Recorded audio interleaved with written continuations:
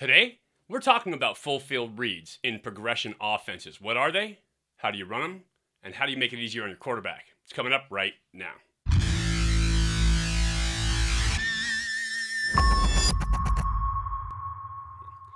Hey, everybody, welcome to Elite Athletes TV. I'm Mike Pawlawski, former 11 year pro and quarterbacks coach here at EliteAthletesTV.com. Today, I want to talk to you about full field reads.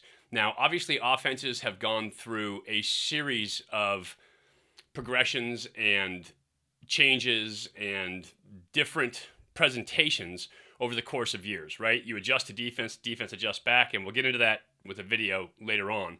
But right now, offenses are heavy into pure progression reading. And a lot of that is to simplify the offense for quarterbacks, especially young quarterbacks coming in the air raid system, the spread offense. A lot of these, even a lot of the West Coast teams now run a pure progression read system for quarterbacks. And so I want to explain what that is to you. Before we get started, make sure if you haven't done it yet, if you love football content, if you love talking about the game, that you hit that subscribe button and ring the bell. Get notified every time that our new content comes out. Make sure you give us a like, smash that thumbs up button down below, and leave me a comment. I'd love to hear from you. We'll make some videos if you give us a good question. So let's talk about full field reads. What does that mean? Well, it sounds daunting as a quarterback, and I'm going to tell you a little story going back to my college years. I was playing in a slimmed down version of the West Coast system under Terry Shea and then under Steve Mariucci. And we ran West Coast concepts. What that meant was for a quarterback, it was all about defensive key reads, understanding what you're seeing in terms of coverage. Is it cover three? Is it cover one? Is it cover two? And then knowing within that route concept who my key read was, which player I was reading to take me to my first decision. When Steve Mariucci took over as offensive coordinator, Dan Cozzetto also took over as our offensive line coach. And I love Danny, fantastic coach, brought a ton of attitude to the team, and had some experience in Dennis Erickson's spread system, where they did a lot of this full field reading and progressions. But I had been trained in defensive key reads as part of that West Coast system. And so as a result, it was hard for me to wrap my head around a full field read. How could I read and tell you what's going on on the backside if I'm reading front side to start? I couldn't get my head around a pure progression. And so Coach Cozzetto installed a full field read for me as a quarterback, and it worked great with him at Idaho, with John Friesz, uh, with Dennis Erickson. They've been really successful with it. But as a young quarterback, without the experience of having been in a system where we did pure progression reads, I was trying to wrap my mind around, well, who do I key on here? And how do I know that I've got this guy on the backside if I can't look at this guy early? And so it was a great play. It was a vertical play. Um, had our slot receiver running down the center of the field coming open, but I just kept getting lost coming from progression one into two because I was trying to find the defender rather than just playing street ball and finding if that middle read was open. And so it was hard for me then to wrap my mind around it now. I laugh when I look back at it today because it's really a way simpler system than I was trying to make it to be. I was overthinking it. But it's an example of how quarterbacks can kind of get locked into a single concept. I think as a quarterback coach and as a quarterback, that being able to do all of the above, understanding all of the above, and using the best of all the different systems out there to simplify your offense and to simplify your reads for your quarterback is the best way to go. Now, teams have gotten into pure progressions. And the reason for that is there's been a ton of changes in college football and defenses disguise more. I'm also doing an upcoming video about that, what DBs have to do as opposed to quarterbacks. But the reason for progression reads is because defenses are changing, shifting, rotating, giving different looks, sometimes it's hard to tell pre snap what exact coverage you're in. And then if you're trying to read post snap, you're chasing eyes around everywhere. And you can get lost in trying to get your defensive key read. So making it a pure progression system makes it easier on the quarterback just to go, I throw here first, I throw here second, I throw here third, I throw there fourth. Period. That's done. So just like I didn't know what I didn't know back then, oftentimes young quarterbacks don't understand. Not only do you have to know the reads, but you have to be able to deliver the ball on time, accurately, consistently, with velocity if you want to be successful. To help you do just that and to help you improve your passing mechanics, I've created a course for quarterbacks to talk about perfecting your passing mechanics. It's called Quarterback Secrets. I'll put a link right up here. I will put a link down below in the comment section as well, so you can get it there. and click on that link. You get a free video teaching you how to perfect your grip right now. And then you can learn how to deliver the ball accurately and efficiently every time you throw. Now let's talk about those full field reads. Well, I'm gonna draw it up on paper. I'm gonna show you how to put together a proper full field read. And then I'm going to talk about some of the pluses, some of the minuses, and how to make it easier on your quarterback. Let's hit the paper.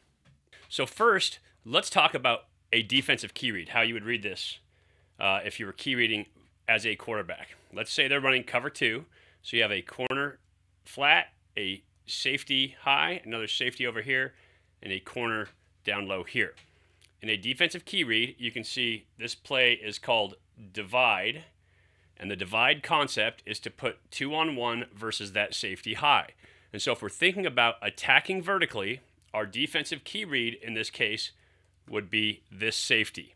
If he takes that middle of the field runner and honors that or stays inside, then I'm thinking about throwing the corner. If he stays on his hash or comes off to honor that corner, gets influence there, then I'm thinking about throwing that middle field read, right? Middle field open, cover two. If that safety doesn't honor the inside, I'm going to try to pound that ball down the center of the field and get some vertical yardage. Now, the, the thing about defensive key reads, just like the name says, in a defensive key read, you are reading the defensive player, in this case, the safety. If the safety honors here and the corner drops back, now I'm throwing that underneath route. So it's hard for me as I'm trying to read defense to go from one side of the field to the other in a defensive key read scenario because I'm waiting on what the defense does to dictate to me to where I go with that football. Now, let's teach this as a full field progression for a quarterback. As a quarterback, if I'm going to make this a full field progression, I'm going to read one, to two, to three, to four, and to five. Now remember, in a defensive key read, you have to understand as a quarterback what coverage they are playing. In this case, you don't have to understand coverage. You have to know if it's blitz or if you're going to get pressure and how to protect yourself, but you have to do that anyway in a defensive key read. If I'm reading this as a pure progression, what I have to understand as a quarterback is that I cannot fall in love with any single receiver. So I need to make my reads on timing the way the route is designed. So as a quarterback, I would take the ball. You can see here, three step drop, right? Shotgun, three step drop. And on my drop, I'm reading if this is open. If this guy is not open, if I don't feel the space in here to throw this ball, then on my hitch, I am coming to the corner route. If that corner route is not there, then on my next hitch, I am coming inside to my middle read, my vertical seam. And if I was making this a true full field read, I would give him the option of sitting it down versus cover three. That way he wins no matter what. That said, so that's on my second hitch. Now I come down, I don't love that, and I can come back to my big bench, which should time out just in time for me to come off to it to throw to the backside. And if I don't love it, my check down is right in my vision. What does that do for me as a quarterback? That keeps my eye flow on a natural arc where I come through. And for me, as a progression, I just get my eyes on the space, read the space, and then flow through. Now, that said, this could all be done in your drop. You can say, Do I love this? pre snap? Is there a backer, a safety, or a nickel player, or a backer underneath that he's going to run into? If he does, do we have an adjustment on it? So you can make all those reads. If not, does the safety come over the top and take away that space, right? So it could be one hitch to your middle read. But the timing of it doesn't matter as long as we are not falling in love with a single concept. I have to time it out that this is a hit and throw this is on hitch number one. This is on hitch number two. This is on number three. And this is my check down right off the back of it. And that way you're getting rid of that ball in 2.7 seconds. You've gone through your drop, you've gone through your read, and you've made it easy on yourself as a quarterback to make that full field read. As you can see, the rest of these are all just variations of that same play. I like it with the dig on the backside as well because now your natural eye progression as a quarterback goes here, right inside, right back down low. So you're just making a loop, and your look off is built into your eye progression. If I'm looking to the right, the safety on the backside is going to get depth, expecting stuff to come to him. Or a free safety is going to get depth, and you have that middle field read as well. And so your look off's built into it. Linebackers are progressing this way with your eye movement. And when you come backside, there should be a lane back there for that dig.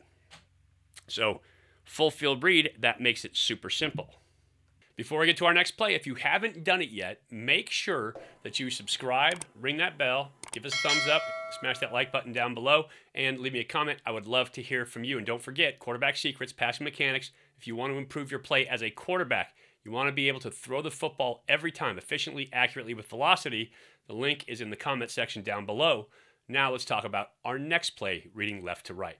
Now here's another version of a full field read for a quarterback. Let's talk first about how we would make this a defensive key read. So if you're coming out as a coach and you're teaching a defensive key read, I want to throw the bang eight or the skinny post, this route right here, versus cover three or off man. And so as a coach, I'm teaching your defensive key read is the flat defender. Could be a nickel, could be a outside linebacker, could be a strong safety. In this case, it would probably be a weak outside linebacker or a nickel will because tight end is to the right.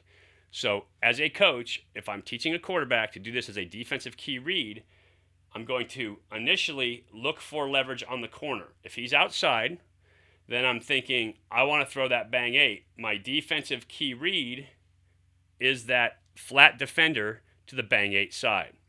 So, as a result, I'm going to read him on the snap. If he attacks the flat, I throw the bang eight. If he gets depth into my window on the bang eight, which by the way is tough for a flat defender to do, then I've got the flat. If neither one of those are there, then I can come inside because that flat defender took that away.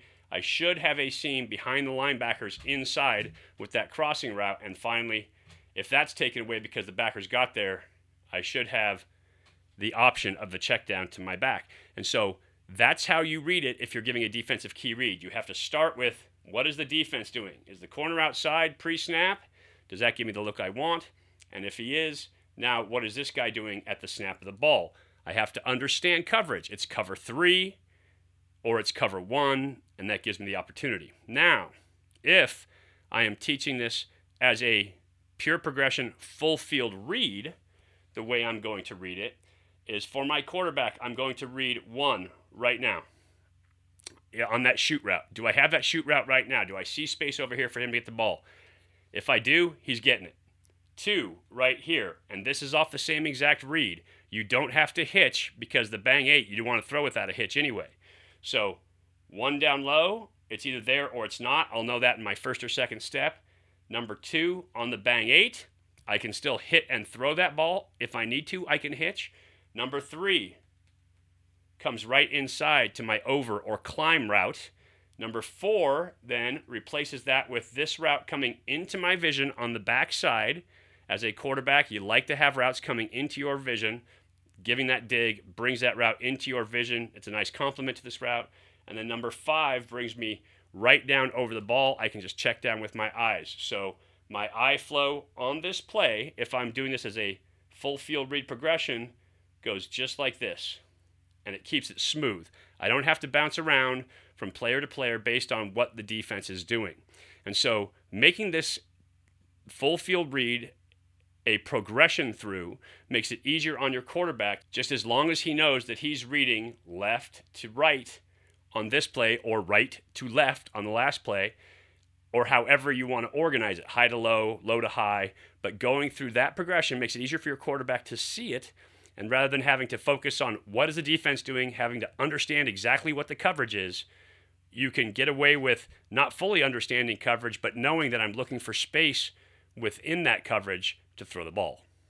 So your takeaway from this video should be that full field reads are not only possible, they're actually really successful and they can get you big chunks, they can be shot plays, and they can make the game easier on your quarterback and spread the defense. I mean, if you can get that picture with the five dice look and you can spread that defense out, there's no way they can cover everything. As long as your quarterback doesn't fall in love with the route, and as long as you're giving him the right reads where it makes it a simple eye progression, then you are in good shape as a coach. And as a quarterback, understand that if you have a full field read on, whether you're reading, you know, left to right, right to left, high to low, whatever you're doing, if you have a full field read on, you have to go through your progression at the speed it's intended. If it's built properly, it's going to take that natural eye progression with you and give that natural look off built into the system. That's the way they should be designed. So practice full field progression reads, moving your feet in the pocket. It's only an angle shift for you, but understanding that keeping your eyes where they're supposed to be at the time they're supposed to be there is going to help you with the look off and you don't have to think about all that extra stuff for yourself. Appreciate you watching. Don't forget, subscribe, hit that bell. Make sure that you smash the like button down below and leave me a comment because I would love to hear from you. If you have any questions, I'd love to answer them here on the channel. That's all about full field reads, progression reads, and making the game simpler on your quarterback to execute from the pocket.